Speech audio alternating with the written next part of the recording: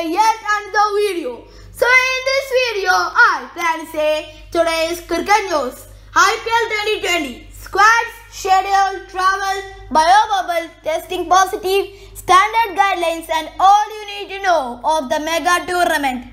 The much awaited government note for conducting the IPL in the UAE came out as the final nail in the coffin for all the speculations and rumors doing rounds about the India Premier League.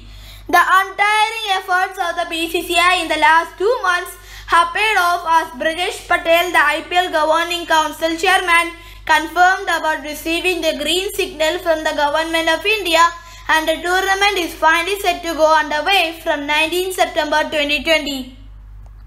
The T20 extravaganza shifted in its entirety to the UAE in the wake of COVID-19 pandemic will be played over 53 days involving 60 matches at the three venues Abu Dhabi, Dubai and Sharjah. All through the schedule of the tournament has not yet been released, the eight franchises have begun their preparations in full flow. The IPL has shared with the franchises a 16-page long draft document of standard operation procedures SOP that lays down rigorous guidelines regarding testing procedures, maintaining biosecure bubbles, repercussion of breaching the SOP, social distancing in dressing rooms and a host of other such regulations. So by saying that, let us take a look at the changed avatar of IPL this year. Number 1. Testing and travelling directives. Franchises are not allowed to leave before August 20 and have been advised to use chartered planes to travel to the UAE.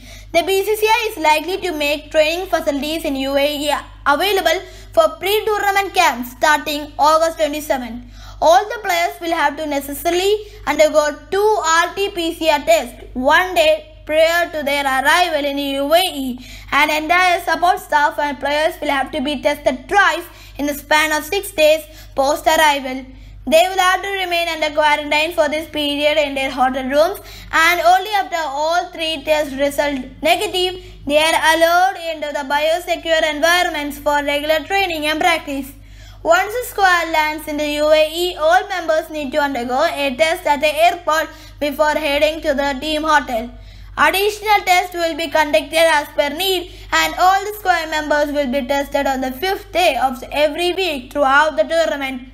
All franchises have been asked to appoint a team doctor who will be responsible for ensuring biosecure guidelines during the tournament. The franchise medical team should obtain a complete medical and travel history since 1st March 2020 of all players and team support staff at least two weeks before the scheduled departure to UAE. Number 2. Biosecure Bubble The biosecure environment means only essential staff will be on site and no members of the public will be allowed. The BCCI will be ensuring biosecure bubbles in four broadly categorized environments hotels, training sessions, matches, and transportations. All eight teams will have to stay in different hotels and are all advised to occupy smaller properties which can be booked in full and separate wings. Squad members have also been asked to wear masks outside their rooms at hotels and avoid any unnecessary movement. The players and support staff will not be allowed to leave the bubble once entered uh, throughout the duration of IPL 2020. At number 3, family members of the players.